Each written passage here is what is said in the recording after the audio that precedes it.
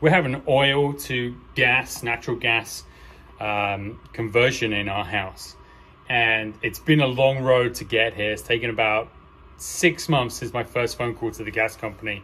So I want to take you through the steps uh, that we have to that we that we went through. So step one, we contacted the gas company. Looked on their website. They have an oil to gas program uh, where what they do is they evaluate your house and the cost that it's going to take to bring a gas line from the street to your house. And first they check, they make sure you have natural gas on your street. They look at that that overall cost to them, and then they have an algorithm essentially where they look at okay, what's the return on investment from them? Are they going to make money off our gas consumption in one year, two year? Uh, and if it's a small number of years, then you essentially get that gas line laid for free. Uh, if it's a long time before they get their money back, uh, there is going to be a cost. For us, there was a cost. We live a long way from the street. They had to bring that gas line through a small forest uh, to get to our house. So we had to pay a small amount for that. But essentially, they, they quoted that out, um, and we, we, we had our quote for that. Step two was to find a contractor. So we had four contractors come to our house uh, to quote us for solutions for a new gas boiler and hot water heater for our, our property. So we evaluated those quotes and we um, and then we picked one. Right, we went with a uh, went with the second cheapest, but the most highly regarded um, in in the area uh, on our recommendations. Uh, and step three was to apply for financing. So yes, you could pay upfront for this, but there's actually financing options. And generally, I'm not a, a person who likes debt, uh, but the state-run programs to help you install. And the, one of the programs that Connecticut runs uh, gives us the ability to do this on a 1% loan. Uh, particularly in high times, at times like this where we have high inflation, 1% loan is, is, is cheaper in the long run than paying cash.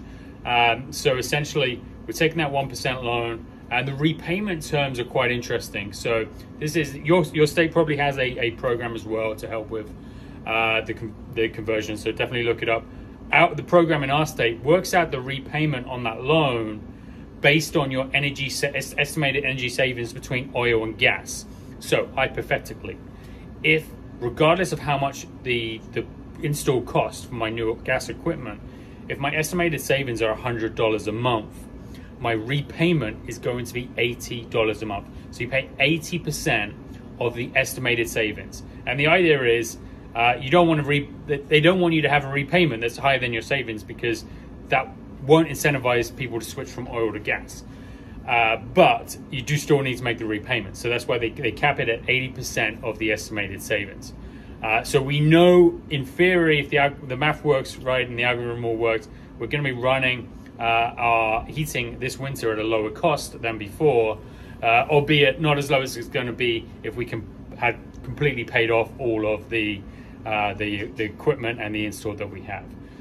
So there we have we have our um, quote from our oil, uh, sorry, our gas company. We have our contractors, and then we have um, our financing for the project. So the next step is scheduling, and really, so when it came to scheduling, the biggest dependency is when that uh, the natural gas company can lay that line to your house. Um, so in, it's not feasible to drill uh, dig in the winter, so we have to wait for the thaw and then get on the schedule. The other dependency is financing. So you need to get your financing approved if you're going to do that. Um, if you ever use a state program, it takes a little bit longer, but I think it's a, it's a better way to go with a low interest rate and more favorable repayment terms. Or you could probably get financing from your contractor as well, or any other kind of financing you like. But once you've got those two together, you can pay. We had to pay our uh, the, the cost of the, the gas line installed from the street. So for us, that was about three thousand uh, dollars. So we paid for that, and that got that the ability for them to schedule that. And then we had to wait about two months for that to happen.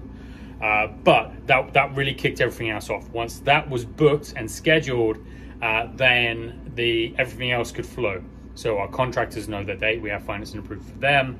Uh, they are able to get us on their schedule, uh, but again, dependency on that line being being met.